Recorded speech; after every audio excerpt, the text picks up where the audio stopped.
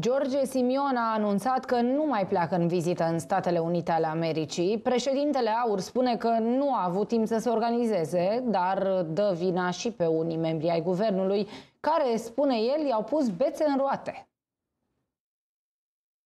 Înțeleg că a, au apărut uh, unele controverse cu privire la vizita pe care trebuia să o am în uh, Statele Unite ale Americii.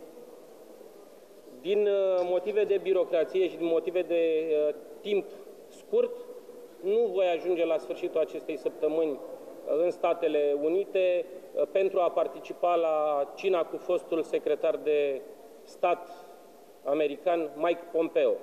Controversele despre care vorbește Simion se referă la faptul că Israel Heritage Foundation, organizatorul evenimentului, l-a refuzat pentru că nu a primit nicio confirmare a întâlnirii. După o analiză suplimentară și în spiritul unității, regret să vă informez că Israel Heritage Foundation nu poate onora participarea dumneavoastră la această dată, întrucât nu am primit o confirmare privind cina cu Pompeo de pe 18 septembrie, a anunțat fundația într-o scrisoare trimisă Parlamentului.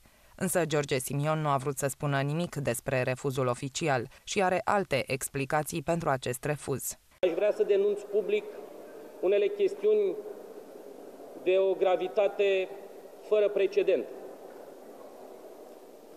Membrii ai Guvernului României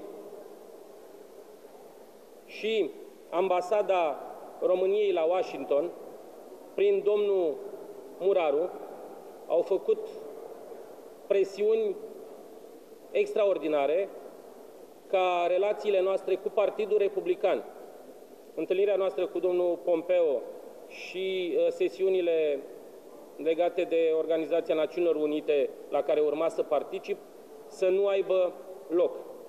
Potrivit unor surse citate de știri pe surse.ro, la baza refuzului ar sta acuzații de antisemitism care planează asupra celor de la AUR. De altfel, parchetul general a deschis la începutul acestui an un dosar penal împotriva AUR, după ce membrii săi ar fi acuzat Ministerul Educației de ridicarea la rangul de materii teme minore, precum istoria Holocaustului.